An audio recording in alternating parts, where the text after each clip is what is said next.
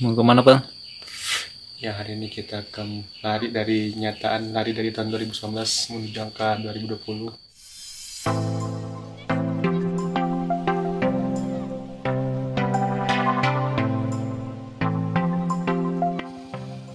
Menghindari hanya rebahan di malam tahun baru, saya bersama kawan-kawan saya berinisiatif mendaki Gunung Sumbing di Temanggung, Jawa Tengah. Kami berangkat berempat menggunakan motor. Saya berboncengan dengan Putra, sedangkan Hanif dengan Soleh. Mereka adalah kawan-kawan saya yang tanggal 17 Agustus kemarin mendaki bareng di Gunung Sindoro. Kan minum kopi dulu bang, seger.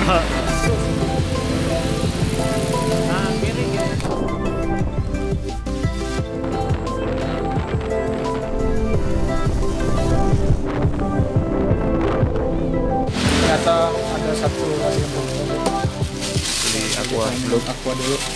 Takutnya kekurangan. Setelah menempuh waktu kurang lebih 3 jam dari Pekalongan, akhirnya kami sampai di base camp Gunung Sumbing jam 12 siang. Di sana sudah sangat ramai sekali. Maklum, banyak orang yang ingin malam tahun barunya berkesan. Setelah beres parkir, kemudian kami masuk ke base camp untuk beristirahat sebentar. Dan benar saja, di dalam base camp sudah banyak orang. Sebelum registrasi, kami diwajibkan untuk mengecek ulang peralatan dan perlengkapan pendakian. Ini ada ketentuan dan larangan di Gunung jadi dibaca dulu dari A sampai E. Terus kalau udah isi barang bawaan sama logistik untuk ketua kelompok isi di sini. Udah, empat. Sleeping bag ada empat. Setelah dicek oleh petugas dan perlengkapan kami lengkap, kemudian kami melakukan registrasi. Setelah beres semua, kemudian kami bersiap-siap untuk melakukan pendakian. Tapi tiba-tiba dengan labilnya hujan pun jatuh membasahi seisi bumi dan memaksa kami untuk memakai jas hujan. Anehnya, setelah kami memakai jas hujan, hujannya pun reda dan kami pun melakukan pendakian. Jumlah kantor. Baru saja kami senang karena tidak terjadi hujan. Setelah lima menit, hujannya pun turun kembali. Hanif yang belum memakai jas hujan pun lari terbirit-birit mencari tempat berteduh di rumah warga. Setelah beres memakai jas hujan, kemudian kami pun melanjutkan perjalanan kembali.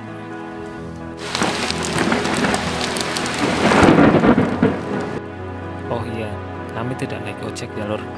Selain ngirit pengeluaran, kami juga ingin menikmati perjalanan.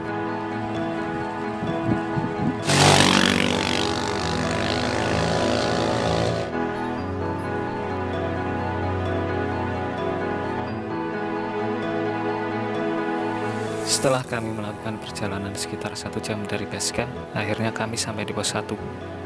Karena hujannya semakin menjadi-jadi, akhirnya kami memutuskan untuk beristirahat di pos 1. Sambil menunggu hujan reda, kami juga mengisi perut, karena dari base camp kami juga belum makan. Kita habis dari pos 1 Kita akan menuju ke pos 2 Lumayan jalannya agak licin. Kena hujan. Semoga kita tidak apa-apa. Nanti kasihkan aja Siap. Setelah kenyang dan hujan pun sudah mulai reda, akhirnya kami pun melanjutkan perjalanan. Kami menyusuri jalan yang licin dan becek menuju pos 2. Jadi kalau untuk eh, pohon ini sendiri ketika hujan tuh banyak yang cadang makan apa banyak yang makan cadang minuman Nah, kalau teman-teman misalnya kekurangan air coba coba Kalau hujan ya. kalau hujan ya Kalau hujan. hujan lumayan lumayan Ini kehabisan air apa? Doyan. Setelah sampai pos 2, kami pun langsung melanjutkan perjalanan karena hari pun semakin gelap. Apalagi ditambah harus melewati engkol-engkolan yang terkenal sulit. Ol engkolan. Dan setelah sampai jalur engkol-engkolan, saya pun agak terkejut. Sekarang jalurnya beda, engkol-engkolan dialihkan ke jalur baru.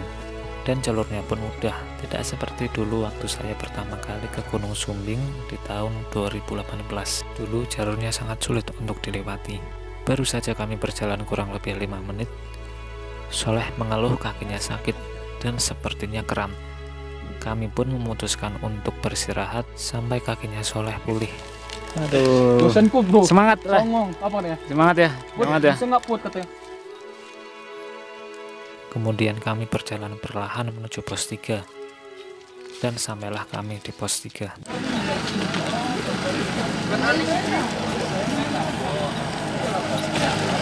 Sini udah sampai di pos 3. Nah, Sekarang tempat kita base camp. Kita mungkin akan bermalam di sini. Masih banyak orang. banyak orang di sini. Banyak orang. Ya udah, langsung aja ya. Langsung aja. ya. Kita makan dulu apa? Kami sampai di pos 3 sekitar jam 8 malam. Kemudian kami beristirahat di warung sambil menikmati teh hangat dan gorengan. Setelah itu kami langsung mencari tempat untuk mendirikan tenda. Kemudian kami langsung masuk ke dalam tenda karena suhunya sangat dingin sekali. Yang pinjang sambil nunggu makan. Eh, nah caraku aja dipaksa lu. Yang paksa. Karena sudah malam dan perut harus diisi, kami pun memasak mie instan untuk makan malam. Makan dulu.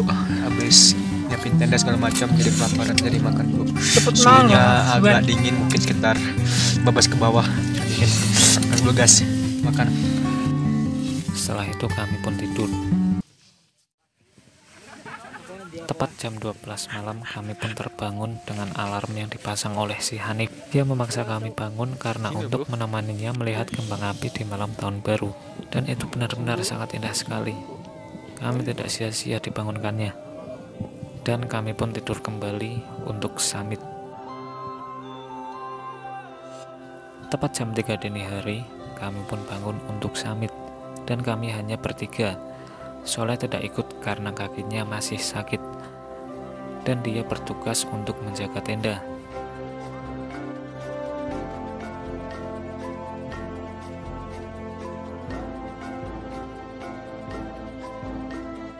Kami pun bergegas menuju puncak dan sesekali berhenti sambil menikmati indahnya Gunung Sindoro di depan mata.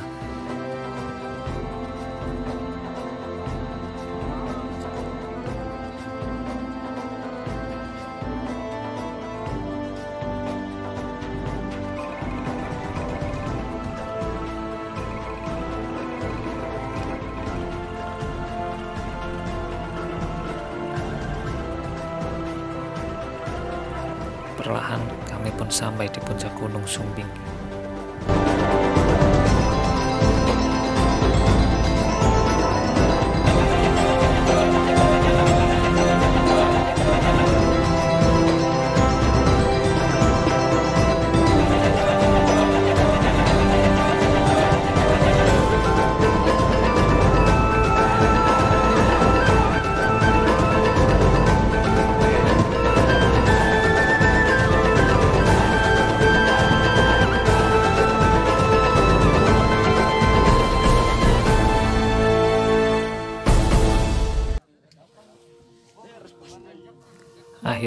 Jam 6 pagi kami bertiga sampai di puncak Gunung Sumbing. Dan di sana sudah lumayan banyak orang yang ingin melihat matahari awal tahun 2020. Di puncak kami hanya sebentar karena kami khawatir dengan keadaan Soleh di tenda. Kami hanya mengambil foto dan video, kemudian makan snack. Setelah itu kembali lagi ke tenda.